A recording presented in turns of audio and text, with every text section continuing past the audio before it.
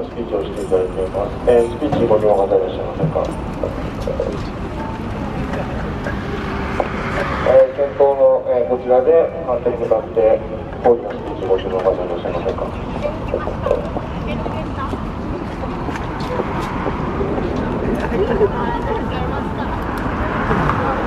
えー、それでは、えー、スタッフが、えー、マイクを持って後ろの方まで来ますので今お並びのその位置から、えー、講義のスピーチ反原発の講義のスピーチ V 内でしていただきます、えー、マスコミやユースト配信されている方いらっしゃいましたら、えー、列の中から講義スピーチをする方の顔などを映さぬようご配慮の方お願いします。マイクです。はい。では今立ってるままの場所で反原発の講義官邸に分断されたい方手を挙げてください。え、少々お待ちください。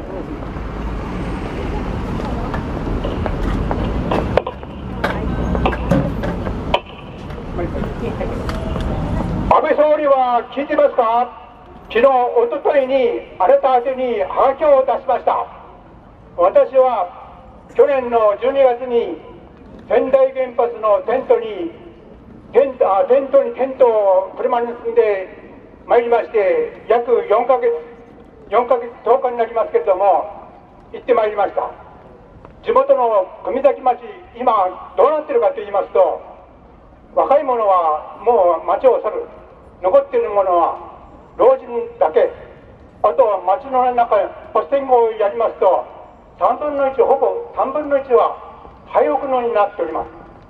こういうところがあなたの言う美しい国の一端でしょうか。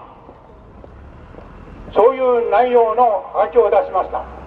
まあこれは首相は海外出張が多ございますのでなかなか現地に出向くことはありませんけれども次にどなた行くか麻生さんでしょうか。麻生さんは地元の有力者ですね。ちょっと無理ですね。そうしますと菅官房長官この方が適当かと思います。現状をよく見てそれで美しいかどうかを判断してほしいと思います。仙台原発再稼働反対です。はい記者会館の前まで近づいていますいらっしゃいますか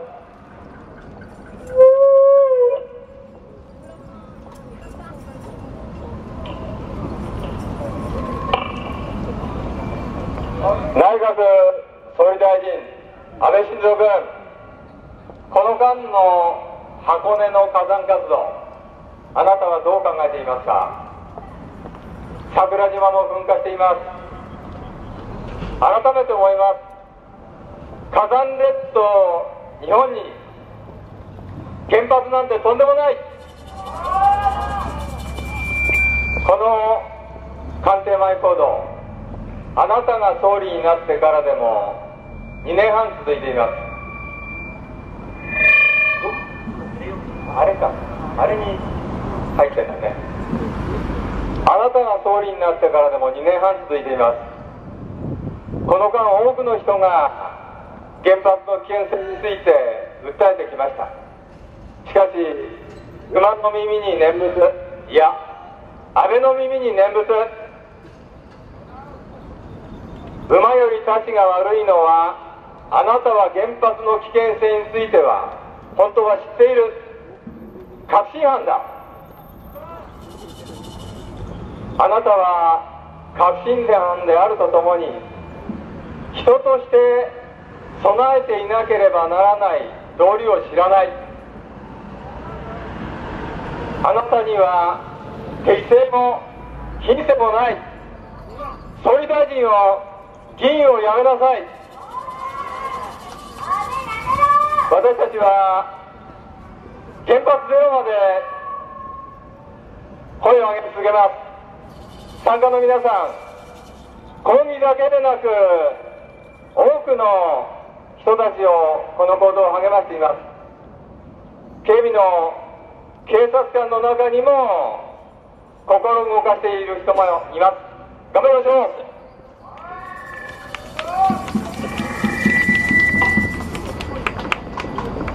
福島原発事故で世界を震撼させるデータが出た。福島原発第1号機で核爆発した。核燃料は原子炉。核の容器を貫き溶け落ちていたことが抽選ミュー粒子検査で分かった。溶け落ちたデブリはさらに核分裂を続けながら原子炉を建物を突き破り何万年も放射能を陸に海に出し続けるだろう。この放射能汚染を制御することも止めることも放射性物質を取り出すことも不可能だ。原発は一旦事故が起これば人間の力では絶対できない。規制庁経産省は原発事故から何も学ばない。何も反省しないで再稼働や輸出をしようとしている。安倍晋三今からでも遅くない。全原発の廃炉を宣言しろ。日本世界を救う道は原発から手を引き自然エネルギーを100%推進することだ。お前は変わることばかりやっているがたまにはいいことをね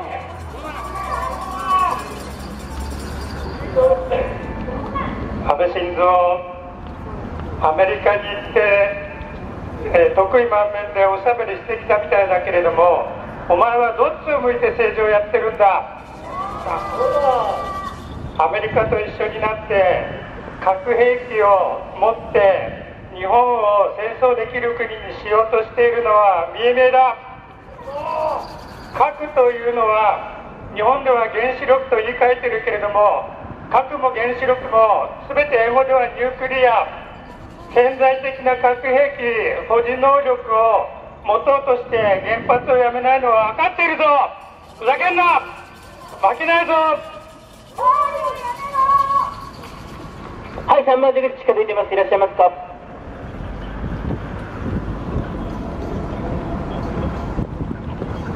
安倍晋三南日本新聞の世論調査によると鹿児島県民の6割は原発を反対してます民主主義国家だった地元の人の民意を尊重するべきじゃないですか宮殿はそれでも進めようとしてますけれど首相だったら宮殿にやめた方がいいっていうのがあなたの仕事でしょうそれに九州電力種子島で太陽光発電を促成しています原発再稼働に賛成した人も再生可能エネルギーに普及するまでという意見が多かったです再生可能エネルギーを抑制するような日本の国益を損ねます。そしてそれもやめろというのが首相の役目じゃないでしょうか。太陽光発電で電気余ってんです。原発はいりません。はい全部返します。全体原発再稼働反